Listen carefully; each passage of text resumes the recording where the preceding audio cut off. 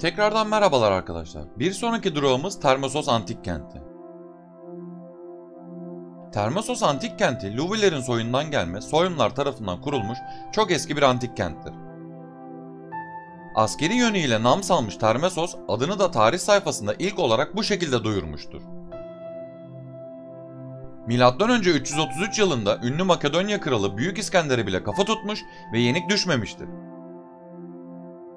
Başta askeri olmak üzere eğitime çok önem vermişlerdir. En refah dönemlerini meşhur Kral Hadrian döneminde yaşamışlardır.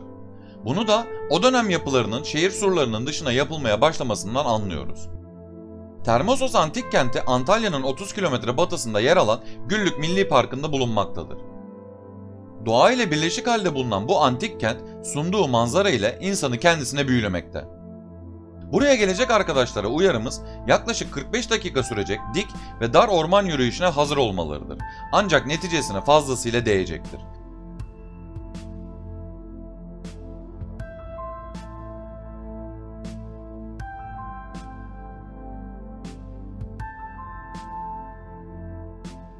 Bir sonraki videoda görüşmek dileğiyle. Hoşçakalın.